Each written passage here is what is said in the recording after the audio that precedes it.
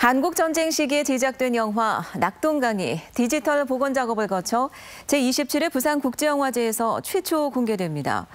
영화 낙동강은 실제 전투가 기록된 극영화로 한국영상자료원이 최근 원본 필름을 발굴해 디지털화 작업을 진행했고 영상과 음향의 유실이 없다는 점에서 높은 가치가 있는 것으로 평가받고 있습니다.